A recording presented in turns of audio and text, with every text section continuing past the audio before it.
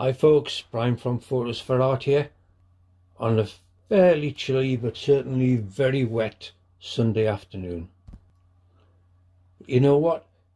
These wet conditions, the reflections make it ideal for being able to produce some fine art urban landscapes. So that's what I'm looking to do this afternoon. If you like what you see, please subscribe to the channel and click the bell icon so that you get reminders every time I put a new video out. Catch you soon folks. Bye for now. Here's something just a little bit extra. What you see here is a black and white painting that was done by my uncle Douglas back in 2007.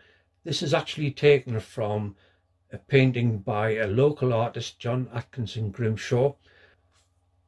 And if you follow me to the end of the video, you'll see me link out to a guy called Steve Preston. And if you click on there and watch Steve's video, 34 seconds in, you'll see the original artwork from which this particular piece from my Uncle Doug was taken. Now if you'd like to support a fellow Northeast YouTuber, have a look at Steve's work and like I ask you to do for me, click on the subscribe icon and start to follow what Steve does because the work which he puts out on pretty much a weekly basis is fantastic.